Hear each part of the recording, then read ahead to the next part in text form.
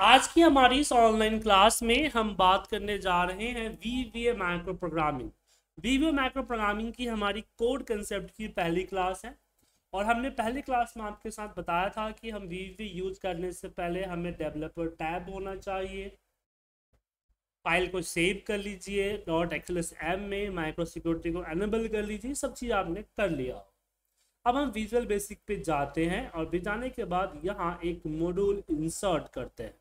क्योंकि हम जो भी कोडिंग करेंगे मॉड्यूल में करेंगे ऐसा क्यों कर रहे हैं इसके बारे में भी हम डिस्कस कर चुके हैं।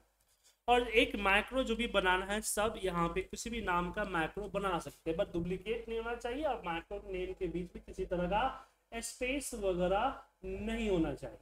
राइट राइट सर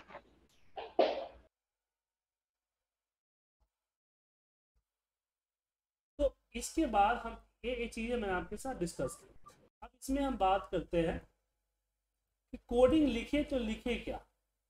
कोडिंग लिखे तो लिखे क्या? देखिए कोडिंग के लिए आपको जैसे मैं बताया था कि मेनली हमारे पास चार जो होते हैं, वो ऑब्जेक्ट होते हैं। सबसे पहला एप्लीकेशन एप्लीकेशन दूसरा वर्क बुक्स तीसरा शीट्स और चौथा रेंज जैसे इंग्लिश लैंग्वेज हम यूज़ करते हैं तो इंग्लिश लैंग्वेज में क्या होता है? कि आपका कोई भी वर्ड नाउन या प्रनाउन से शुरू होता है। नाउन या प्रनाउन से शुरू होता है। उसी तरीके से यहाँ भी आपका चार मेन ऑब्जेक्ट से शुरू होता है। चार मेन ऑब्जेक्ट से शुरू होता है। अब इन चार में से क्या होगा? सबसे पहला एप्लीकेशन तो जैसे कि जो आप कोड जिस चीज़ के लिए कोड लिखना चाहते हैं, अगर वो आपका क्या बोलते हैं? वो जो आपका जो है, अगर वो किसी एप्लीकेशन को प्रॉब्लम क्रिएट कर रहा है तो एप्लीकेशन के कोड लगेंगे। अगर किसी पर्टिकुलर फ़ाइल का है तो पर्टिकुलर फ़ाइल पे लगेंगे। किसी पर्टिकुलर शीट का है तो पर्टिकुलर सीट पे लगेगा। ठीक है? तो चलिए कुछ एग्ज़ाम्पल से समझते हैं। तो हम सबसे पहले वर्कबुक को अभी अभी फ़िलहाल एप्लीकेशन को छोड़ते हैं और हम वर्कबुक को लेके चलते हैं। वर्कबुक तो जैसे यहाँ पे देखिए एप्लीकेशन वर्कबुक शीट और वर्कबुक अगर मान लीजिए एक नई फ़ाइल खोलनी हो तो यहाँ हम लिखेंगे वर्क बुक्स डॉट एड अब इसको ऐसा रन नहीं करेंगे रन करने के लिए एक अलग माइक्रो होना चाहिए, क्योंकि ये फालतू का कोड है ना, एक फालतू का कोड आपके प्रॉब्लम क्रिएट करेंगे। तो subject R R slash one करके हमने ब्रैकेट ओपन क्लोज किया, और मैं यहाँ लिखूँगा वर्क बुक्स बुक्स होगा सॉरी डॉट एड तो ये क्या होगा? आप जब इसको रन करेंगे यहाँ माइक्रोज में जाके आर आर वन को तो क्या करेगा? एक नई फ़ाइल खोल दे क्या खोल दिया? नई फ़ाइल देखिए बुक टू खोल दिया। ऐसे नई फ़ाइल खोल दे। अब इसमें क्वेश्चन आता है कि जो फ़ाइल खुली है, उसको सेव कैसे करें? तो फ़ाइल सेव करने का कोड होता है कि वर्क बुक्स और यहाँ पे book two dot XLS dot save as और कहाँ करना है? तो ई e ड्राइव के अंदर 2022 slash one two three dot XLS ये फ़ाइल हो जाए। पर प्रॉब्लम ये है, देखिए, किसी भी कोड को लिखने का तरीका आपके सामने दिख रहा है। किसी भी कोड को लिखने का तरीका क्या है? कि आप पहले यहाँ पे वर्क यहाँ पे वर्क बुक्स फ़ाइल के नेम यहाँ पे डॉट सेव एज और कहाँ सेव करना है उसका लोकेशन तो ये हो गया ऑब्जेक्ट ये हो गया ऑब्जेक्ट का मेथड सॉरी ऑब्जेक्ट डिटेल्स ये हो गया आपका मेंबर ये हो गया आपकी मेंबर की डिटेल्स तो object member object detail member member details लेकिन हम सिचुएशन के हिसाब से भी देखेंगे, क्योंकि हम एक साथ ये दोनों को रन करेंगे तो एक गड़बड़ हो जाएगी. क्यों गड़बड़ होगी? क्योंकि फ़ाइल नेम हमारा बुक टू हमेशा रहेगा इसकी गारंटी नहीं है। फ़ाइल नेम हमेशा रहेगा इसकी गारंटी नहीं है। नहीं है।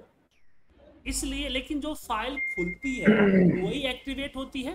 तो यहाँ हम लिखेंगे एक्टिव वर्क बुक डॉट बाकी सब कुछ सेम होगा सेव एज और अपना पाथ ठीक है सर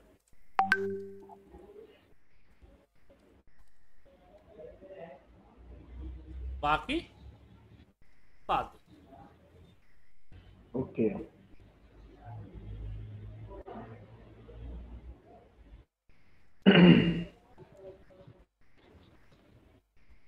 समझ गए? लेकिन यहाँ पे एक और हाँ, सिचुएशन सिचुएशन आती है कि मुझे पता है कि मुझे फ़ाइल को सेव एज ही करना है।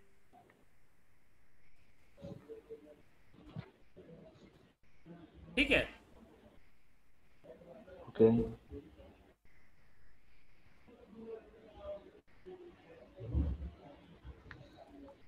तो हम क्या करेंगे?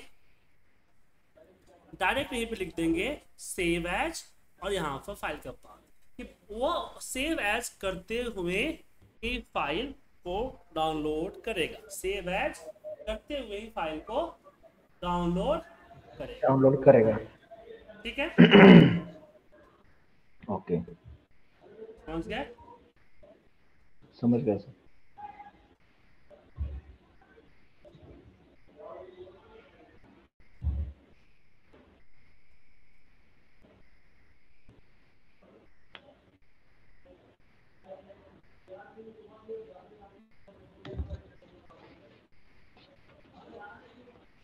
फ़ाइल हमने फ़ाइल को नई फ़ाइल क्रिएट करना सीख लिया उसको सेव एज करना सीख लिया। अब बात करते हैं कि कोई पर्टिकुलर फ़ाइल है उसको ओपन कैसे करेंगे? तो यहाँ लिखेंगे वर्क बुक्स डॉट ओपन और जहाँ से फ़ाइल ओपन करनी है उसका हम यहाँ पे क्या देंगे? पाथ देंगे। बात देंगे। ठीक है? हम क्या देंगे? पाथ देंगे। पाथ देने के बाद ये फ़ाइल ओपन हो जाएगी। अब जो फ़ाइल ओपन होती है वही एक्टिवेट होती है। तो उसमें जो कुछ करना है तो आसानी से आप कर सकते हो। क्या? बराबर। करेक्ट सर बात आती है फ़ाइल को क्लोज करने की। हमने फ़ाइल ओपन कर ली अब बात करते हैं फ़ाइल क्लोज करने की। तो अगर फ़ाइल का नाम पता है तो आप लिखेंगे वर्क बुक्स और यहाँ पे बुक वन टू जो भी है आप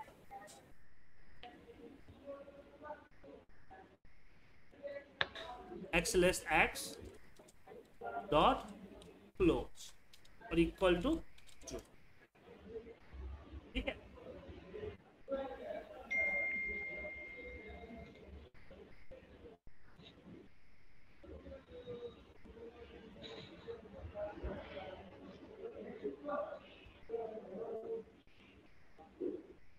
समझे कि नहीं?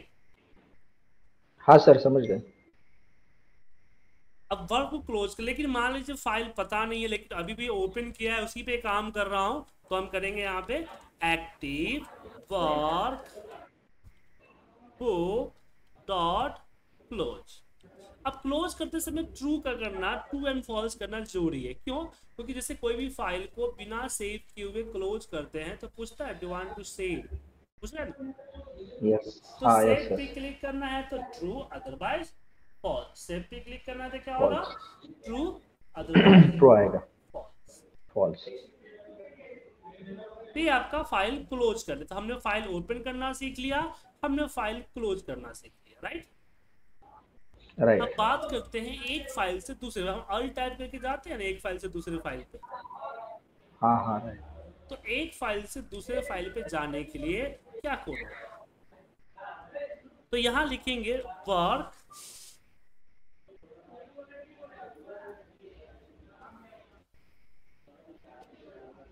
वर्क बुक्स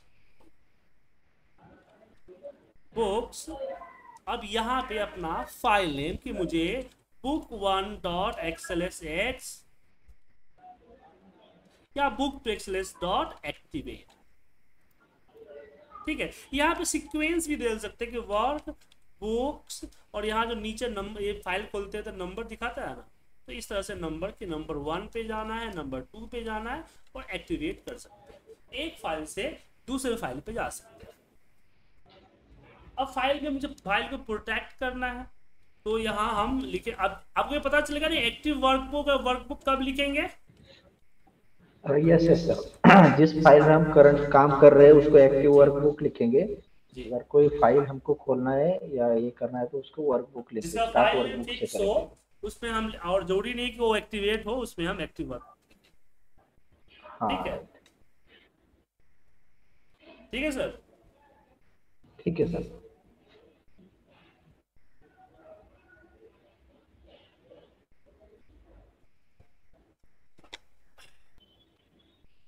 तो हम active work dot protect P R protect और प्रोटेक्ट में हम पासवर्ड एक्टिव वर्क में प्रोटेक्ट ये क्या प्रोटेक्ट कौन सा प्रोटेक्शन किया? ये डेवलपर यहाँ पे रिव्यू टैब के अंदर जाके प्रोटेक्ट वर्कबुक को किया। मतलब कि इससे स्ट्रक्चर सीट डिलीट डिलीट वगैरह इंसर्ट वगैरह नहीं होता है। राइट सर तो सीट वर्कबुक डॉट प्रोटेक्ट हो गया। अब इसमें ये हो गया। अब बार आ, बात आती है कि हम पा, ओपनिंग पासवर्ड डालना चाहते हैं। तो यहाँ भी हम एक्टिव वर्क बुक्स बुक्स नहीं होगा बुक होगा ठीक है? एक्टिव वर्क बुक होता है बुक्स नहीं होता है। पासवर्ड और यहाँ पे हमने ट्वेल्व डाला। तो ये क्या करेगा? ये फ़ाइल के अंदर जाएगा इन्फो में जाएगा protect work book encrypt with password और यहाँ पे पासवर्ड डाले ठीक है? जिससे आपकी फ़ाइल की ओपनिंग पासवर्ड लग जाएगी।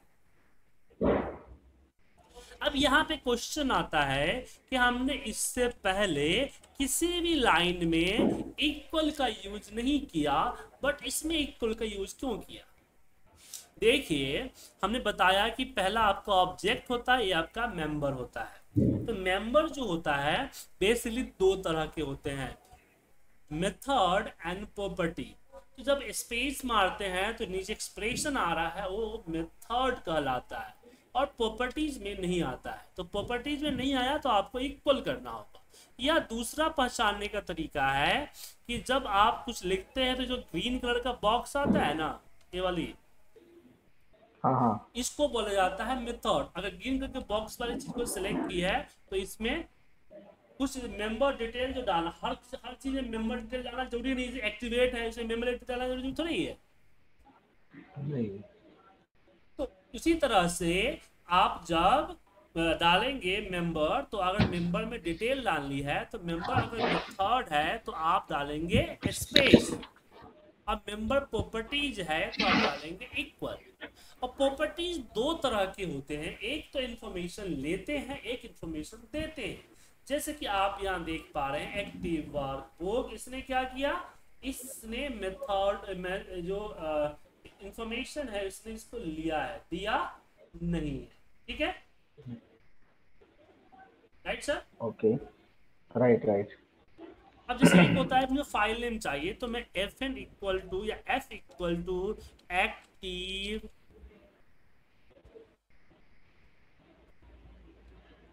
work book dot file name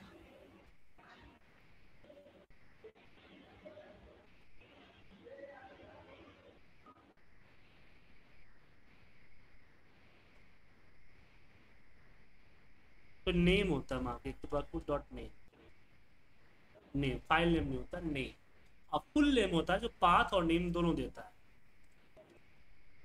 ठीक है? Equal to active work book dot full name ठीक है? तो इंफॉर्मेशन दे रहा नेम ले लीजिए पाथ ले लीजिए फुल नेम ले लीजिए, ये चीज़ें इंफॉर्मेशन देती है। इंफॉर्मेशन कहाँ सेव होता है? वेरेबल पे। अब मुझे जहाँ पे इस फ़ाइल नेम की ज़रूरत पड़ेगी तो वहाँ पे हम क्या करेंगे? एफ़ एल डाल देंगे। एफ़ डाल देंगे। वहाँ एफ़ एल का यूज़ कर लेंगे किसका यूज़ कर लेंगे एफ़ एल का। यस ठीक है? ठीक है। समझे? हाँ सर चलो।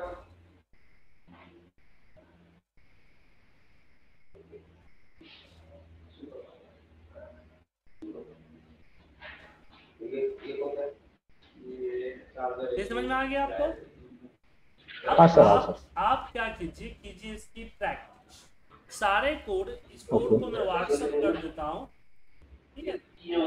इस कोड को मैं व्हाट्सएप कर देता हूँ। अब आपको एक कोड को एक एक लाइन पे यूज़ करना है। किस पे यूज़ करना है? एक एक लाइन पे।